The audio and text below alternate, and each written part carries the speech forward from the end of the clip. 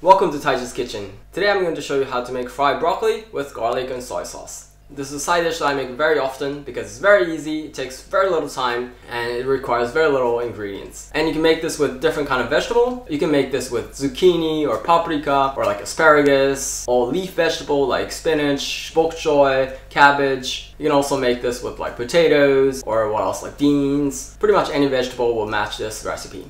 And of course this is strictly vegan, so if you're vegetarian or vegan, then this is perfect for you. Then, let's get started.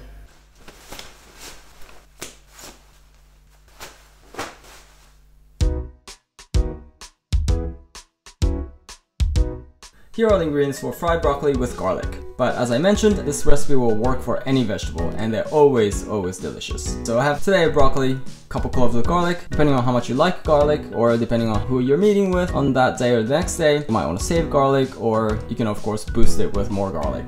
And then I'm using sesame oil for frying, but you can of course use a regular frying oil or olive oil. And then I just have regular salt and soy sauce.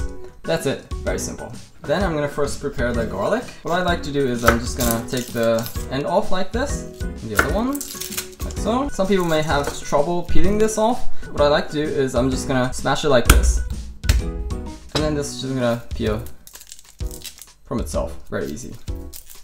Like that. Oh, if you have a bad part, then just wanna take that out. And then I'm just gonna chop this up in small pieces.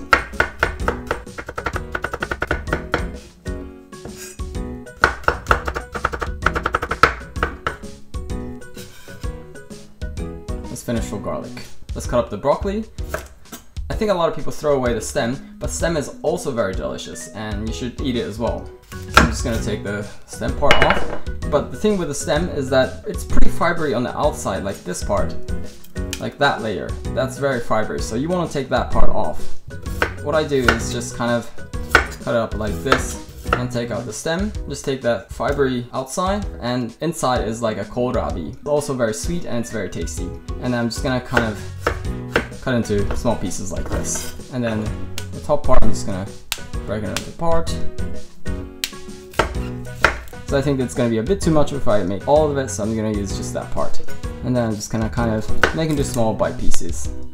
So I don't like to cut it all the way through because you kind of lose a lot of this top part. I like to cut it like this and then break into like this so that you don't lose any small bits. Like so.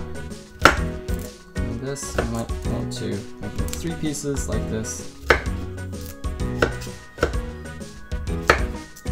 And then I don't lose any small bits and pieces. So that's finished for cutting the ingredients. Let's cook. So in a normal pan, I'm gonna put in the cut up broccoli. Then here I'm gonna put in about a 100 milliliter of water. And then we're gonna turn the heat to high. I'm gonna put the lid on and we're gonna steam this broccoli as pre-cooking. Or if you're lazy, like me sometimes, you can of course use the microwave to skip this part. So the water is starting to boil. I'm gonna give it a little mix so that it gets heated evenly. Then I'm gonna let it steam for about a half minute to a minute or so. You don't need to cook all the way through because it's gonna be cooked later as well. So I think it's good enough. I'm gonna turn the heat off and then I'm gonna drain the water. So what I usually do is I'm gonna use this lid and then let the water drain like this. Of course you can use a strainer, but I'm a lazy person, so I use that. And then I'm gonna put that on the side. I'm gonna quickly wash this. Then I'm gonna turn the heat to high again. And I'm gonna put in here a little bit of sesame oil. About a half a teaspoon or so. And then I'm gonna here put in the garlic. I'm gonna fry the garlic just slightly so that it gets a little roasted flavor to it.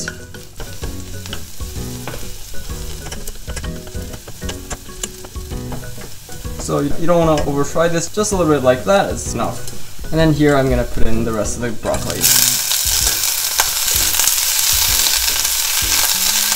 And then turn the heat to medium.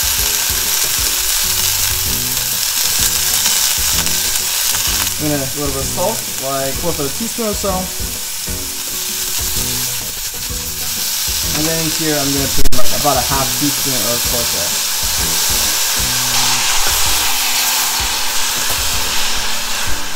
So once you put in the soy sauce, somehow the broccoli is gonna produce some water like this. I don't know why. Probably due to osmosis from the salt of the soy sauce. So you wanna fry a little bit more until the water is gone.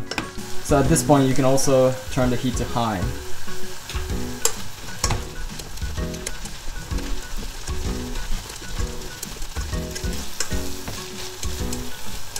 So this is finished. Put it on a plate. So this is finished. Let's eat.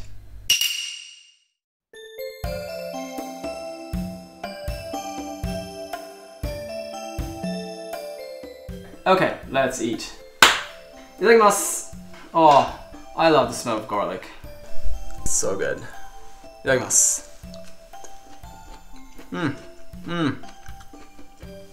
Mmm. Mmm. Oh, this is really good. So I cooked the broccoli a little bit too much. As you see, it's kind of breaking apart. For broccoli, you want to really, really lightly cook it. I've seen a lot of Western people who cook broccoli way, way too much. So for broccoli, cooking one minute is just enough. Mmm. Still, this is good. Mmm. I love this little sweetness, very subtle sweetness inside the broccoli. Mmm. I don't understand why a lot of kids in Western culture hate broccoli. I never hear any Japanese kids hating broccoli. It's so delicious. Maybe it's just cooked wrong. And the stem of the broccoli is also very delicious. Mmm, this crunchiness is perfect.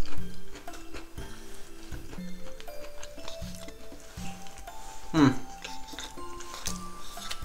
This also matches rice perfectly.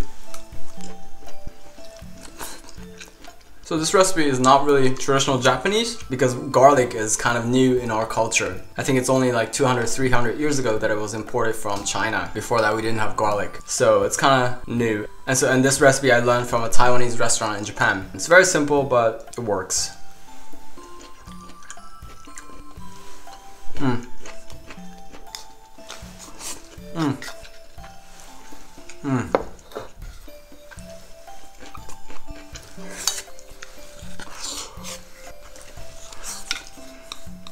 Mmm, that was delicious.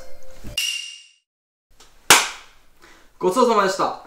Oh, that was delicious. As you saw, this is very simple, very easy to make. This recipe works for any other vegetable. I hope you try it yourself at home. Uh, if you like what you saw, please subscribe, and I look forward to see you in the next video. Bye.